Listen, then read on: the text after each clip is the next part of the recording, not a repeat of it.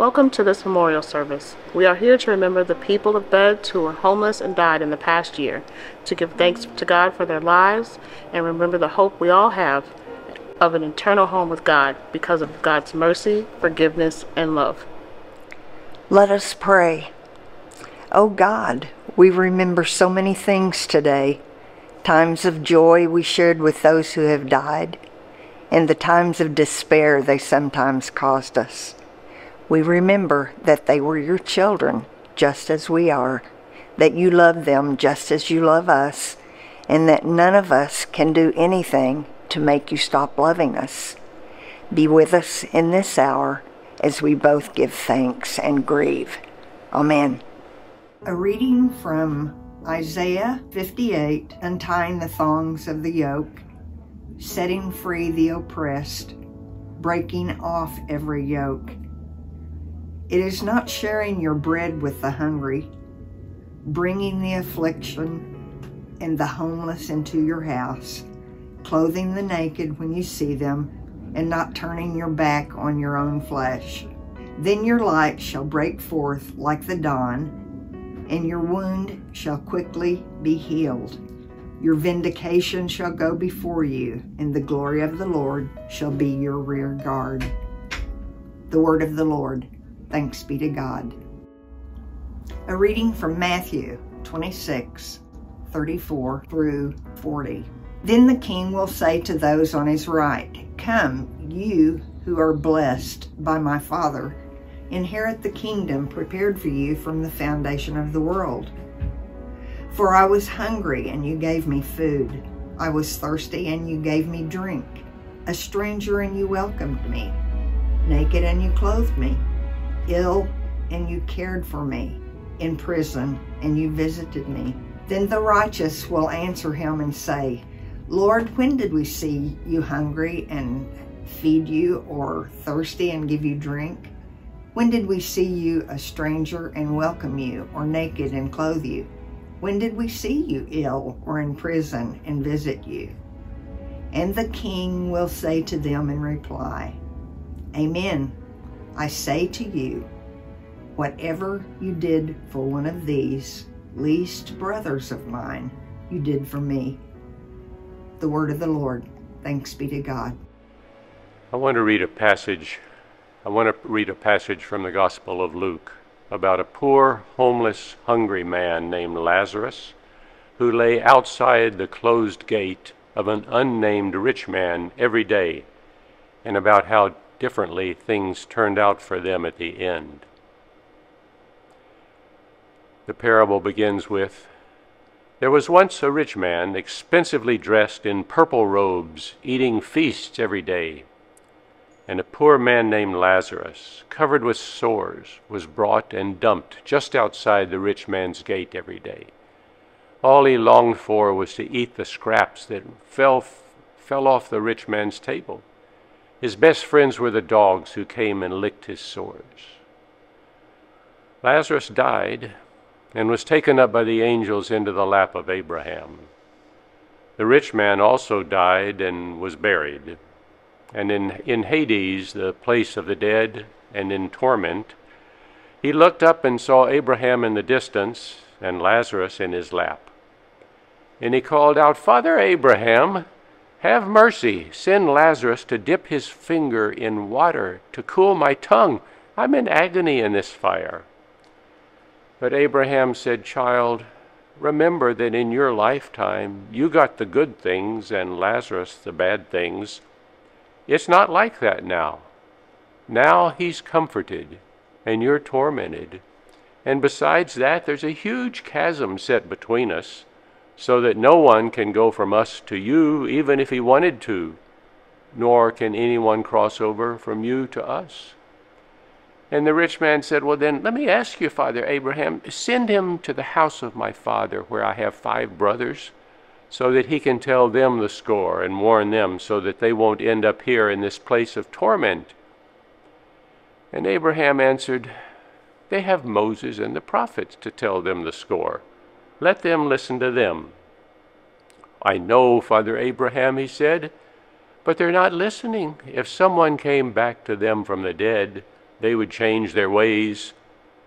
And Abraham replied, If they won't listen to Moses and the prophets, they're not going to be convinced by someone who rises from the dead. In all of Jesus' parables, Lazarus is the only person given a name. His name is a Hebrew word that means the one whom God helps.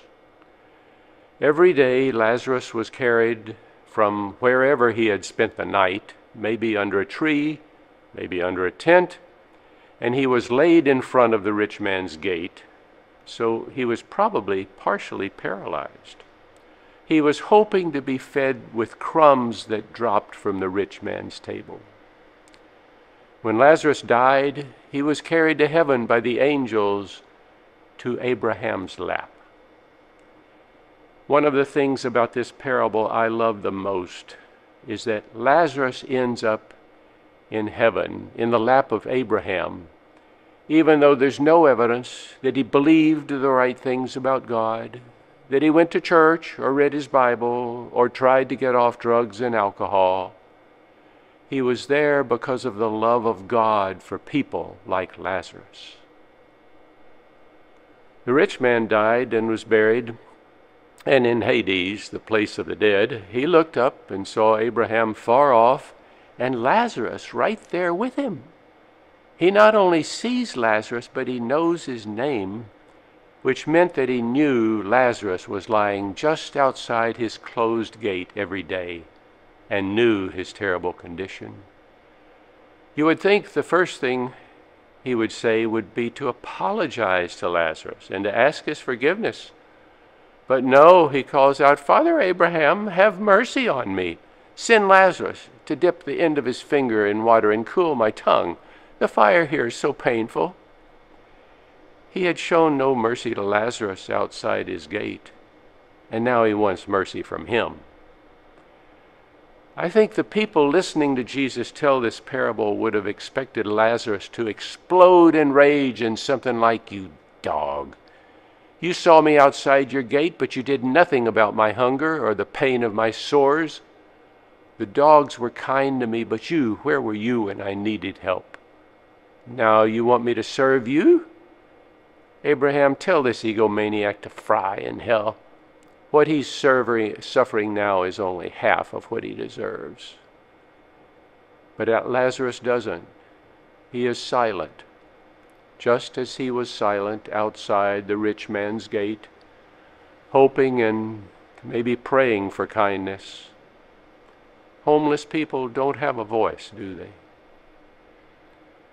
And Abraham said to the rich man child, Remember that you received good things in your lifetime, and Lazarus received bad things. Good things and bad things. Recall Jesus saying, Blessed are you who are poor, for yours is the kingdom of God. But woe to you who are rich, for you have received your consolation. And then Abraham said to the rich man, Sorry, there's no way to help you, no way to get from here to you or from you to here. A couple of years ago at the Vatican in Rome, there was a memorial service for a homeless man they had all known. The priest at that service said that the rich man in this parable represented the rich people in that time who were focused on their own wealth, and Lazarus represented the silent cries of the poor.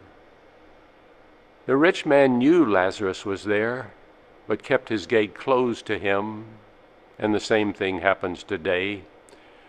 The priest said that when Lazarus died, the rich man's opportunity for goodness died with him. The rich man knew the Bible by heart, but he never thought the Bible had anything to do with the poor, the homeless. The priest said that the risen Jesus comes in the person of the poor, in the person of those who have no rights, no land, no food, no home. Martin Luther once said, If you want to see God, don't look to the heavens, look to the alleys. We know nothing about the homes those we remember today grew up in.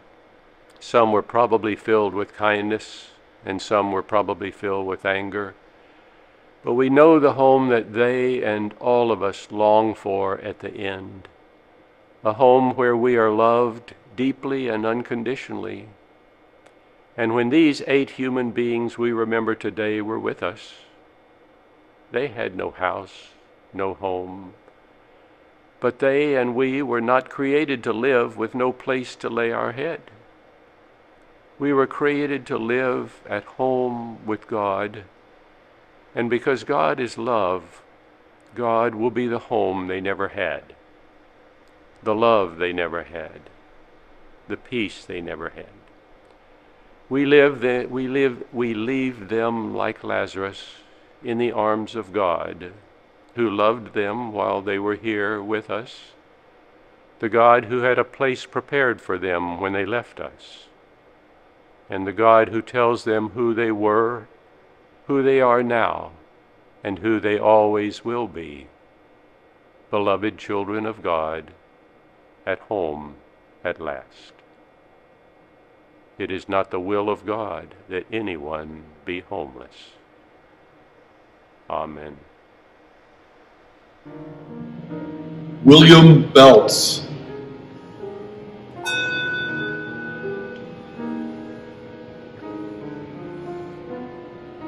Emil Harmon.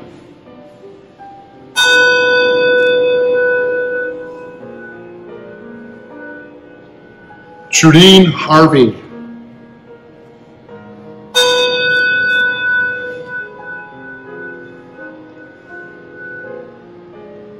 Barry Houlihan.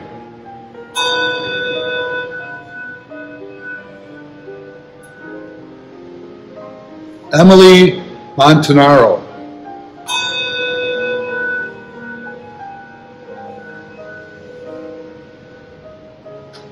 Richard Newman.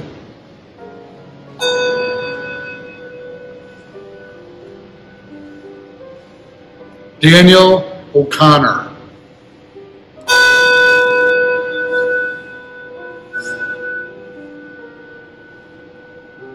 Severin Paul Roth.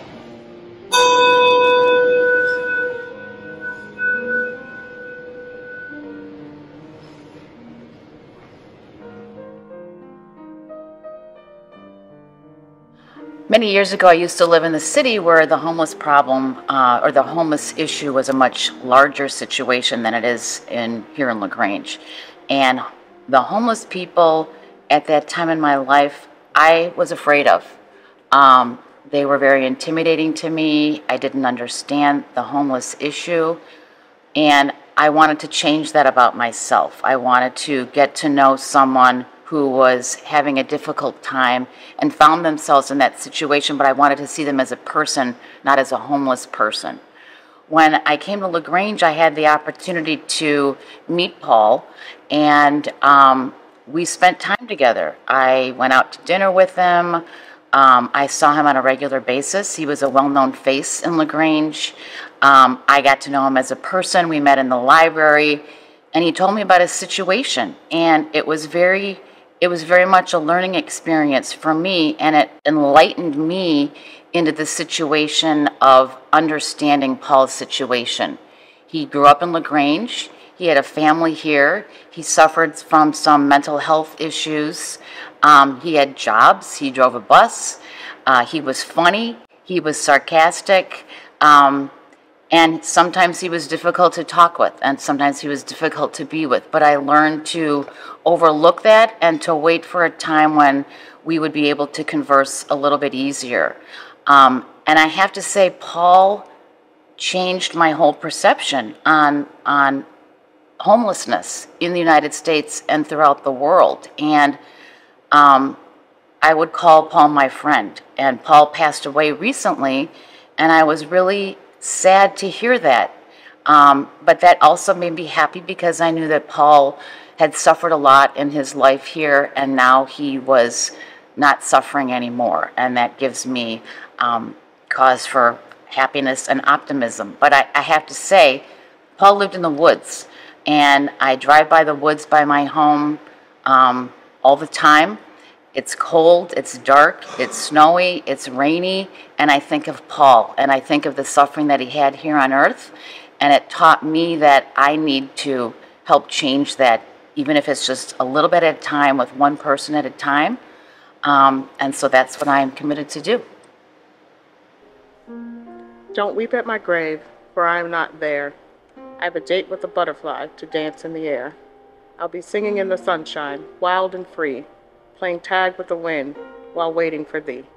The comfort and sweetness of peace after the clouds, the sunshine, after the winter, the spring, after the shower, the rainbow, for life is a changeable thing. After the night, the morning, bidding all darkness cease. After life's care and sorrows, the comfort and sweetness of peace. And now receive the benediction. O God, support us all the day long of this troubled life until the shadows lengthen and the evening comes and the busy world is hushed and the fever of life is over and our work is done. And then, of thy mercy, grant us a safe home and a holy rest and a peace with you at last. Amen.